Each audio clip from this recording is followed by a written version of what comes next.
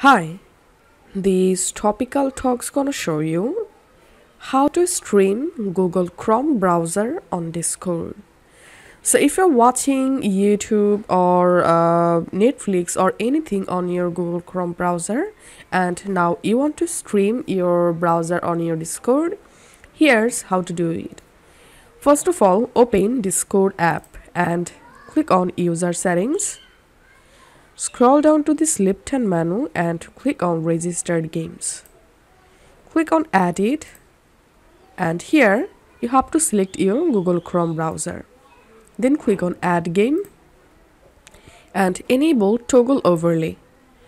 Then go to the server where you want to stream your uh, Google Chrome browser and here you will see the Google Chrome browser add date. Just click on stream Google Chrome Select a voice channel and here you can change stream quality. Once done, just click on go live.